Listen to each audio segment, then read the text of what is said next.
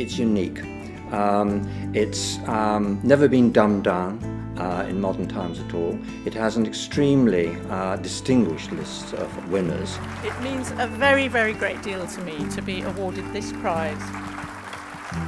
Well, it's the first of all the book prizes, founded long before any of the others, and also it's the most elegant. It's given for writers, for writing, which is a very private thing that you do and a very private thing you do when you read it. The James Tait Black Prizes are literary awards presented by the University of Edinburgh's School of Literatures, Languages and Cultures, the oldest centre for the study of English literature in the world. The prize was set up in the last will and testament of Janet Coates Black, she set up the prize to commemorate the life of her husband, James Tait Black, who had predeceased her by about seven years. She died in 1911. She described him as a man who was very interested in the educative and elevating powers of literature. She set up prizes in fiction and biography to commemorate that. First awarded in 1919, Hugh Walpole won the Fiction Prize, a distinguished novelist in those days. The prize had always been in the gift of the professor of English literature. In those days there was apparently only one. Since then the process of judging has become a little more complicated. There's a lot more publishing, there are a lot more professors nowadays, but essentially it's remained uh, retained by the university. The winners join a distinguished gallery of past winners which includes many celebrated literary figures. I think the fiction list, by any measure, is a most remarkable list, a sort of who's who really of fiction writers in the 20th century. Writers that anybody with even a smattering of interest in English literature over that period would recognise. D.H. Lawrence, E.M. Forster, Arnold Bennett, Muriel Spark, uh, Evelyn Waugh, Elizabeth Bowen. So really a kind of a great list, a great back catalogue of, of, of winners of the prize. A Best of the Best award for the prize in 2012 was won by Angela Carter for her 1984 novel Nights at the Circus.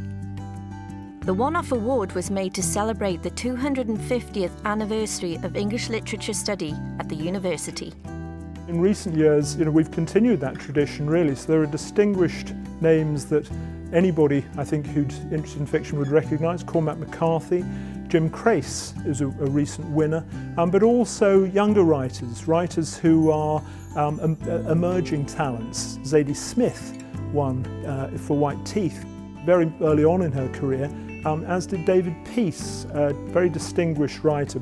Anybody who's familiar with life writing over the last hundred years will notice in each decade the foremost writers in that field. Um, to pick out just one name from the early years of the prize, Lytton Strachey a, a writer who, say anybody who knows anything about biographical writing, will immediately recognise as a, as, a, as a major writer, an innovative writer, but also a radical choice as well. In the 1920s, it was by no means a safe choice. His biography of Queen Victoria wanted to uh, look at the grand, their, his grandparents, that generation's grandparents, and put them under the microscope. So he, I think, is a kind of representative of, of those early years of the prize. A unique aspect of the prizes is that they are judged entirely by university English professors and postgraduate literature students. Each year, more than 400 books are read by academics and students who make nominations for the shortlist. I think it's a positive that we have postgraduate readers because it preserves the integrity of the book judging process. Um, a lot of the bigger commercial book prizes have a vested interest, whether from a publisher, a celebrity, a sponsor, whoever, in getting certain nominations up there or certain authors to win the prizes. Um, we've had none of that, you know, since the inception of the James Tait Black Prize. It's always been postgraduate readers. It's been people who've been trained to read literature, evaluate literature, who love doing that. Um, and as past winners have shown, they've spotted potential at a very early stage of some authors' careers. Whatever category you get, whether it's fiction or biography, it tends to make you read outside of your subject area. You have to open up your horizon slightly. And I've read everything from Bismarck to Eleanor Marx and everything in between and it just it gives you a more rounded perspective of what it is to be a student of literature again. The winners of the prizes are announced at the Edinburgh International Book Festival in the heart of the first UNESCO World City of Literature.